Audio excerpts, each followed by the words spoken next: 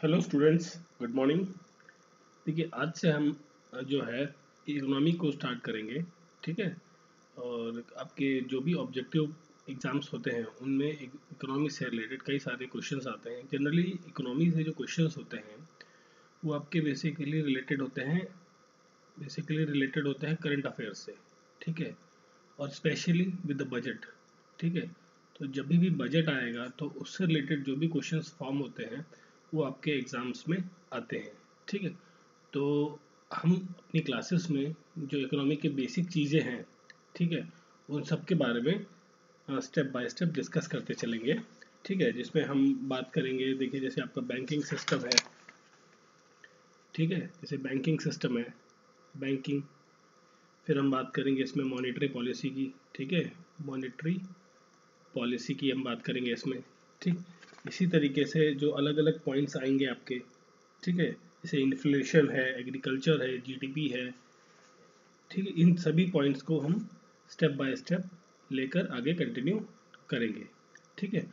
तो आज की क्लास में हम स्टार्ट करेंगे हमारे आज के टॉपिक से, जो कि रहेगा हमारा बैंकिंग से रिलेटेड ठीक है? बैंकिंग एक मेन हेडिंग टॉपिक है, जो हमारा फ़र्स्ट टॉपिक रहेगा। तो इसके अंदर हम सब डिवीज़न देखेंगे बैंकिंग सिस्टम के अंदर। क्या क्या आता है कब कब क्या क्या हुआ कौन कौन सी घटनाएँ हुई, और क्या क्या डेवलपमेंट्स हुई पास से लेके प्रेजेंट टाइम तक। ठीक है? तो चलिए शुरू करते हैं आपकी क्लास को।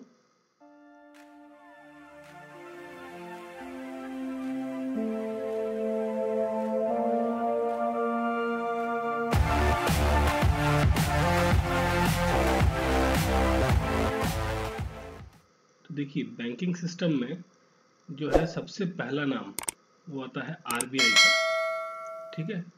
तो आरबीआई क्या होता है? आरबीआई होता है आपका रिज़र्व बैंक ऑफ़ इंडिया ठीक है? रिज़र्व बैंक ऑफ़ इंडिया ठीक? और इसका जो हेडक्वार्टर है वो कहाँ है? मुंबई में, ठीक है?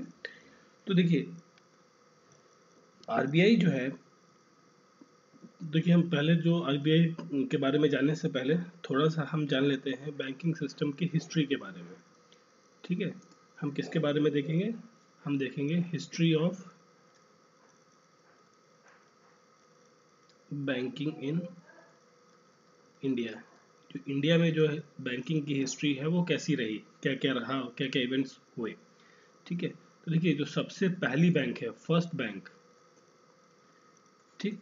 वो खोली गई थी, उसका नाम था bank of Hindustan bank of Hindustan ठीक है? और ये खोली गई थी 1770 में, ठीक? किसके द्वारा? और खोलने वाली थी एक इसकी कंपनी अलेक्जेंडर एंड कंपनी ठीक है? ये एक ब्रिटिश कंपनी थी, उसके द्वारा खोली गई थी ये बैंक बैंक ऑफ़ हिंदुस्तान 1770 में। बट ये क्या हो गई? कोलैप्स हो गई। कोलैप्स हो गई। कोलैप्स मतलब दिवालिया हो गई, बंद हो गई। ठीक है, क्योंकि ये प्रॉपरली रन अप नहीं कर पाई उस टाइम पर। ठीक? इसके बाद, ये तो आपकी हो गई पहली फ़र्स्ट बैंक जो इंडिया की रही। इसके बाद जो है, तीन आपकी बैंक बनी। ठीक है? तीन और बैंक आई जो ईस्ट इंडिया कंपनी के द्वारा खोली गई। ईआईसी मतलब ईस्ट इंडिया कंपनी इन्होंने तीन बैंक के खोली आपकी। तो पहली जो थी आपकी बैंक ऑफ़ बंगाल ठीक, दूसरी बैंक खोली इन्होंने बैंक ऑफ़ बॉम्बे बॉम्बे ठीक है? और थर्ड बैंक थी जो बैंक ऑफ़ मद्रास ठीक है? तो देखिए बैंक ऑफ़ बंगाल जो है, ये 1806 के आसपास खोली गई और ये आपकी बैंक ऑफ़ बॉम्बे जो है 1840 के आसपास खोली गई थी। ठीक है? तो देखिए, ये जो बैंक हैं, आप देख रहे हैं कि ये सारी क्या है? प्रेसिडेंसीज बैंक है। ये क्या थी? आपके रजवाड़े इलाके थे। ये बंगाल का, बॉम्बे का, मद्रास का, ये क्या थी? सारी प्रेसिडेंसीज थी। तो इन प्रेसिडेंसीज में बैंक ओपन की गई। ठीक है? अब उसके बाद क्या हुआ? इस इवेंट के बाद फिर क्या हुआ कि जो 1865 का ईयर आया आते आते ठीक है? एक और बैंक खोली गई, जिसका नाम था अलाहाबाद बैंक अलाहाबाद बैंक। ठीक है, जिसका हेडक्वार्टर कहाँ था आपका? जिसका हेडक्वार्टर था आपका? कोलकाता में। कोलकाता। ठीक है? या आप कलकत्ता, कोलकाता, जो भी आप प्रोनाउंस करें। ठीक? ये जो है भारत की सबसे पुरानी बैंक है, जो आज भी उसी नाम से जानी जाती है। ठीक है? बट हाँ हालाँकि अभी पिछले एक दो साल पहले ही जो मर्जर हुआ बैंक्स का कई सारी तो इसका नाम अब ये मर्ज हो गई है इंडियन बैंक के साथ। इंडियन बैंक के साथ। ठीक है तो इलाहाबाद तो बैंक अब ख़त्म हो गई क्लोज हो गई तो उसकी जगह अब क्या हो गई? इंडियन बैंक बट अब से कुछ टाइम पहले तक, अब ये मान लीजिए आज तक भी इलाहाबाद बैंक अपने ही नाम से जानी जाती थी और सर्व करती थी। ठीक है सबसे पुरानी बैंक है आपकी कंट्री की। ठीक है, अब देखिए, इसमें जो है ये तो स्टार्ट हुई थी 1865 में। ठीक है, इलाहाबाद बैंक। उसके बाद 1894 में 1894 में एक और बैंक शुरू की गई, जो थी पीएनबी पंजाब नेशनल बैंक। ठीक है? इसको भी आप जानते हैं, इस नाम से भी अभी तक बैंक हमारी चलती आई है। ठीक है? ये भारत की पहली फ़र्स्ट इंडियन कैपिटल बैंक थी इंडियन कैपिटल बैंक थी। ठीक है? इसमें जो था कि इंडियन मनी ही इन्वेस्ट की जाएगी। मतलब जो भारतीय रुपया है, पैसा है, वही इस बैंक में जमा होगा। उसी से लेन देन और सारा व्यापार चलेगा। ठीक है? तो ये आपकी स्टार्ट हुई थी 1984 में। ठीक है? इसके बाद बात करते हैं हम इंपीरियल बैंक ऑफ़ इंडिया की। ठीक है? इंपीरियल बैंक ऑफ़ इंडिया हम किसकी बात करने जा रहे थे? Imperial Bank of Imperial Bank of India की हम बात कर रहे हैं, ठीक है?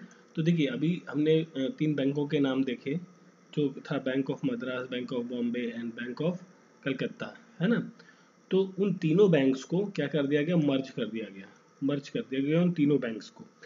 कब किया गया? ये हुआ उन्नीस उन्नीस में, ठीक है? और मर्ज करने के बाद मर्ज इसलिए किया गया ताकि ये जो बैंक है, वो सेंट्रल बैंक की तरह परफॉर्म करे। सेंट्रल बैंक की तरह काम करना चालू करे। ठीक है, इसलिए इसको मर्जिंग कर दी गई। पहले क्या थी प्रेसिडेंसी इस पे थी। भाई बॉम्बे की जो प्रेसिडेंसी है, वहाँ पर ही ये परफॉर्म करती थी। ठीक है तो इसलिए सेंट्रलाइजेशन इस तरीके बैंक का कर दिया गया। ठीक है? अब आज़ादी के बाद, ठीक है आफ्टर इंडिपेंडेंस एक एक्ट आया जिसे कहते हैं एसबीआई एक्ट ठीक है? State Bank of India act ठीक है? ये आया था आपका 1955 में, ठीक है? और कौन लाया था इसे? गवर्नमेंट ऑफ़ इंडिया लाई थी, क्योंकि हमें आज़ादी मिल चुकी है, भारत में सरकार बन चुकी है तो सरकार लाई थी एस बी एक्ट 1955 में, ठीक है? इसके तहत जो इंपीरियल बैंक ऑफ़ इंडिया है, वो बन गया आपका स्टेट बैंक ऑफ़ इंडिया जो आज का आप स्टेट बैंक ऑफ़ इंडिया जानते हैं वो अर्लियर क्या था आपका? इंपीरियल बैंक ऑफ़ इंडिया था। क्लियर अब देखिए आपने कई आ, कुछ टाइम पहले लगभग छः सात साल पहले आपने कई बैंक्स के नाम सुने होंगे। जैसे State Bank of State Bank of Hyderabad ठीक है? State Bank of Travancore Travancore ठीक है? State Bank of Patiala State Bank of Bikaner and Jaipur Bikaner and Jaipur, ठीक है? State Bank of Mysore State Bank of Saurashtra Saurashtra ठीक है? And State Bank of Indore तो ये आपने कई बार नाम सुने होंगे कुछ टाइम पहले, ठीक है? तो ये क्या थी? जो आपकी एसबीआई है स्टेट बैंक ऑफ़ इंडिया है ना? इसकी ये क्या थी? सहयोगी, सह पार्टनर्स थी, ठीक है? एसोसिएट बैंक्स थी ये। बट अब देखिए, इसमें दो इवेंट हुए 2008 और 10 के बीच में, जो आपकी सौराष्ट्र बैंक है bank of Saurashtra bank of Saurashtra और बैंक ऑफ़ इंदौर ये दोनों मर्ज कर दी गई और ये बन गई bank State Bank of Indore ठीक है? इंदौर बन गई, सौराष्ट्र आपकी ख़त्म हो गई। ठीक? उसके बाद फिर क्या हुआ कि एक तारीख आई, एक अप्रैल की फ़र्स्ट अप्रैल 2017 ठीक है, देखिए, आज से लगभग चार साल पहले की बात है। जो बची हुई आपकी बैंक हैं, है ना? एक, दो, तीन, चार, पाँच, है ना? ये सारी जो बैंक हैं आपकी, इनको भी क्या कर दिया गया? मर्ज कर दिया गया। मर्ज कर दिया गया। मर्ज करके क्या बन गई वो? वो सारी बन गई आपकी एसबीआई। ठीक है? और ये क्यों किया गया? किसकी रिकमेंडेशन से? ये रिकमेंडेशन दी थी नरसिम्ह नरसिम्हन कमेटी। नरसिम्हन कमेटी की रिकमेंडेशन पर इन सभी बैंक्स को क्या कर दिया गया? मर्ज एसोसिएट को ख़त्म करके पूरा कंप्लीट एसबीआई ग्रुप बना दिया गया। ठीक है? अब देखिए, इसमें एक चीज़ और हुई। एक बैंक का नाम सुना होगा आपने, भारतीय महिला बैंक। भारतीय महिला बैंक। ठीक है? ये भी क्या है? एसबीआई के साथ मर्ज कर दी गई। ठीक है? बट ये ओपन कब हुई थी? ये ओपन ही हुई थी 2013 में, ठीक है? और 2017 में इसे मर्ज कर दिया गया एसबीआई के साथ में, ठीक है?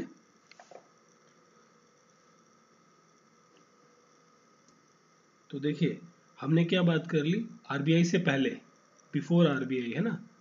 आरबीआई के आने से पहले, ये नाम होने से पहले क्या था हमारे पास? 1921 में Imperial Bank of Imperial Bank of India थी। ठीक है? शॉर्ट में लिखा मैंने इंपीरियल बैंक ऑफ़ इंडिया ठीक है? ये क्या थी? ब्रिटिश को सर्व करती थी। ब्रिटिश गवर्नमेंट को सर्व सर्व करती थी उनकी सेवा के लिए, उनके कामकाज के लिए ये बैंक स्थापित की गई थी। ठीक है? और ये इंपीरियल बैंक कब बनी? ये आपका मर्जर से बनी। किसके मर्जर से? जो आपकी bank of Maharashtra sorry Bengal bank of Madras और बैंक ऑफ़ बॉम्बे थी जो, उनको मर्ज करके इंपीरियल बैंक ऑफ़ इंडिया बनाया गया। ठीक है? अब ये जो मर्जर था, इस टाइम पर जो ये मर्जर हुआ बेसिकली है ना? 1921 में। तो इस टाइम पर जो मर्जर हुआ था, ये एक रिकमेंडेशन की वजह से हुआ था और ये रिकमेंडेशन थी Hilton sorry Hilton Young commission Young commission ठीक है? इनकी रिकमेंडेशन से ये मर्जर हुआ था, ठीक है? अब ये क्या थी? ये कमीशन में था कि भाई ये 1926 में आई थी, ठीक है 1926 में। ये इन्होंने कहा कि जो कमीशन ने इंक्वायरी करेगी, ठीक है भाई ब्रिटिशर की, ठीक, कि भाई जो, क्योंकि देखिए जो ब्रिटिश थी ब्रिटिश ईस्ट इंडिया कंपनी या ब्रिटिशर्स जो थे, वो सिर्फ़ इंडिया पर ही रूल नहीं करते थे। वो अफ्रीका के कई देशों में, जो ईस्टर्न अफ्रीका या सेंट्रल अफ्रीका है, वहाँ के देशों में भी कई जगह इनका राज चल रहा था। ठीक है? तो ये अपना डेवलपमेंट तो करना चाहते थे बट क्या चाहते थे कि कॉस्ट जो है वो रिड्यूस होती रहे, हो जाए। तो इस इस बात के लिए इन्होंने जो मर्जर है बैंक्स का, वो रिकमेंड किया था। ठीक है? ये आपके चेयरमैन थे। ठीक है? इस कमीशन के। एडवर्ड हेलिंगटन यंग ठीक है? चलिए, फिर हम बात करेंगे अभी। जो बैंकिंग सिस्टम था जो आपका 21 के आसपास में जो चल रहा था उस टाइम पर सारा कार्यक्रम 26 के आसपास में तो उसके बाद क्या क्या इवेंट होते रहे और क्या क्या ऐसे आपका आरबीआई बना, है ना? देखिए, एक ईयर आया, उसके बाद 1927 में, ठीक है रिकमेंडेशन कब देगी 1926 को कि भाई कुछ आरबीआई जैसा कुछ बनाना चाहिए, ठीक? तो फिर 1927 में बिल इंट्रोड्यूस हुआ। कहाँ इंट्रोड्यूस हुआ? जो आपकी ब्रिटिश पार्लियामेंट थी, वहाँ पर बिल इंट्रोड्यूस किया गया। ठीक है? कि भाई जो है आरबीआई बनाई जाए या रिज़र्व बैंक जैसा कुछ सिस्टम डेवलप किया जाए कंट्री में। ठीक है? बट ये जो बिल है, वो क्या हो गया? पास नहीं हो पाया। ठीक है? ये फेल हो गया bill due to lack of disagreement of the members जो मेंबर्स थे, कई सारे, उनके जो तालमेल नहीं बैठा, उस चीज़ पर सहमत नहीं हुए, उसकी वजह से क्या है ये बिल आपका आगे नहीं बढ़ पाया। ठीक है तो 1927 में जब ये डाला गया तो ये फेल हो गया। उसके बाद क्या हुआ? 1930 इकतीस और बत्तीस, ये जो तीन साल थे, यहाँ पर क्या चल रही थी आपकी? राउंड टेबल कॉन्फ्रेंस चल रही थी। गोलमेज सम्मेलन, जैसे आप सुना होगा, है ना? राउंड टेबल कॉन्फ्रेंस ठीक गोलमेज सम्मेलन आपका इस ड्यूरेशन में हुआ तो यहाँ पर भी जो है, ये वाला काम नहीं हुआ। उसके बाद क्या है? 1933 में फिर टाइम आया 1933 का। इसको बिल को री इंट्रोड्यूस किया गया री इंट्रोड्यूस किया गया कौन सा बिल? आरबीआई बिल, जो रिज़र्व बैंक का जो बिल है, उसे दोबारा से डाला गया। ठीक है? बाय कमिटी कौन सी कमिटी के द्वारा? White paper on constitutional reform white paper on constitutional reform ठीक है? White paper on constitutional reform के नाम पर इस कमेटी के द्वारा एक कमेटी बनाई गई, जिसके हेड थे आपके जॉन साइमन जॉन साइमन ये वही साइमन है जिसे का नारा दिया गया था। साइमन गो बैक ये वही वाले साइमन है आपके। ठीक है? और इन्होंने भी क्या किया? रिकमेंड किया कि रिज़र्व बैंक जैसा कुछ खोलना चाहिए, होना चाहिए, ठीक है? अब ये तो इंट्रोड्यूस किया गया, फिर कुछ डिस्कशन हुआ टाइम चला। फिर फाइनली जो है 1934 में ये बिल जो है वो क्या हो गया? पास हो गया कि भाई ठीक है फाइनली हम जो रिज़र्व बैंक जो है उसे ओपन करेंगे स्टार्ट करेंगे, ठीक है? तो इस बिल को कहा गया आरबीआई एक्ट ऑफ़ 1934 ठीक है? अब ये जो बिल है अभी क्या करेगा? इसके अंदर जो आरबीआई बनेगा आपका रिज़र्व बैंक वो क्या करेगा? गाइडलाइंस देगा फॉर फंक्शनिंग ऑफ़ बैंक जो बाकी छोटे बैंक होंगे। ठीक है? जैसे आपका एस हो गया, इलाहाबाद बैंक है पी है, इनको क्या गाइडलाइंस प्रोवाइड करेगा? कौन? आरबीआई की कैसे काम करना है। ठीक? और इस साल फाइनली जो है गवर्नर ठीक है? देखिए, उस टाइम क्या प्रेसिडेंट नहीं हुआ करते थे तो गवर्नर जनरल हुआ करते थे, उनका क्या है? एसेंट मिल गया। एसेंट मतलब उनकी स्वीकृति इस बिल को मिली और फिर ये बिल पास होके ये आरबीआई फॉर्म हो गई, ठीक है? और उस टाइम पर जो गवर्नर थे, वे थे मेजर थॉमस थॉमस फ्रीमैन ठीक है? ये थे आपके गवर्नर जनरल ऑफ़ इंडिया ठीक? और ये कब तक थे? 1931 से लेके 36 के बीच में 36 के बीच में ये थे आपके इंडिया के गवर्नर जनरल ऑफ़ इंडिया। ठीक है? इसके बाद फिर क्या हुआ कि 1935 का टाइम आया। जब, ठीक है? फिर जो आपकी W C sorry W P W P C R है ना? White paper on constitutional reform ठीक? इस कमेटी ने क्या किया? पास करवा लिया। किसको? पास कर दिया government of India government of India act 1935 ठीक है? देखिए गवर्नमेंट ऑफ़ इंडिया एक्ट 1935 आपका आया। हमने पॉलिटी में ये डिस्कस भी किया है कि हमारा जो कॉन्स्टिट्यूशन है, उसमें मैक्सिमम चीज़ें अप्रॉक्सीमेट 70 परसेंट ऑफ़ जो चीज़ें हैं, वो हमने गवर्नमेंट ऑफ़ इंडिया एक्ट से ली हैं। ठीक है? तो इसी की रिकमेंडेशन से ये एक्ट भी आपका पास हुआ। ठीक है, जिसमें क्या है, जिसके तहत एक अप्रैल से आरबीआई जो है 1935 इस डेट से आरबीआई ने अपना काम स्टार्ट कर दिया। ठीक है? अब इसके बाद क्या हुआ जो पैंतीस का इवेंट तो हो गया। फिर 1937 में 1937 में जो बर्मा है आपका, बर्मा, जो आजकल आप म्यांमार के नाम से जानते हैं उसे ब्रिटिश इंडिया से वो अलग हो गया। ब्रिटिश इंडिया से अलग हो गया वो। सेपरेट हो गया। सेपरेट हो गया। ठीक है, एक नया देश बन गया आपका। ठीक? बट जो आपका आरबीआई है आरबीआई फॉर्म हुआ, ठीक है 1935 में। तो उस टाइम पर तो आपका बर्मा जो है इंडिया का ही पार्ट था। ठीक? बट जो आरबीआई है वो as a central bank Burma भी, में भी काम करता रहा। कब तक? टिल अप्रैल 1947 तक। अप्रैल 1947 तक बर्मा में भी आरबीआई ही वर्क करता रहा। एज अ बैंकिंग गाइडलाइनर ठीक है?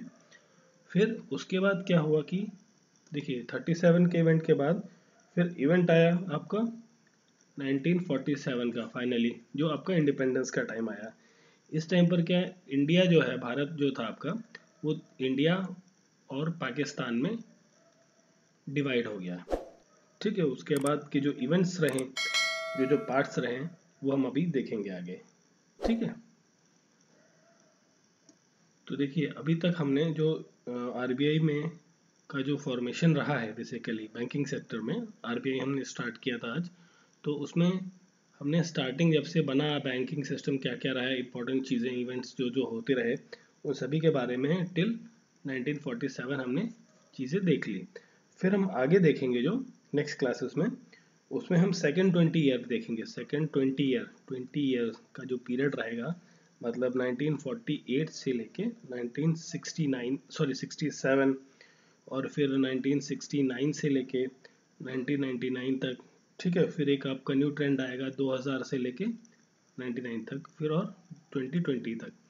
का जो इवेंट है, ये 2020 ईयर का जो इवेंट रहा, इन इवेंट्स में बैंकिंग सेक्टर में क्या क्या चेंजेस आए? कौन सा प्लानिंग आया, कौन सा कमीशन आया, क्या रिकमेंडेशन आई? ठीक है? ये सब चीज़ों के बारे में हम अपनी नेक्स्ट क्लास में डिस्कस करेंगे। सो आई होप सो आपको काफ़ी इन्फॉर्मेशन मिली होगी। मैं सिर्फ़ इसमें इंपॉर्टेंट चीज़ें ही बताऊँगा जो आपके एग्ज़ाम पॉइंट ऑफ़ व्यू से फैक्ट एंड फिगर में इंपॉर्टेंट है। ठीक है? सो आई होप सो आपको अच्छा लगा होगा वीडियो तो प्लीज़ लाइक एंड सब्सक्राइब ज़रूर कर दें। Thank you for listening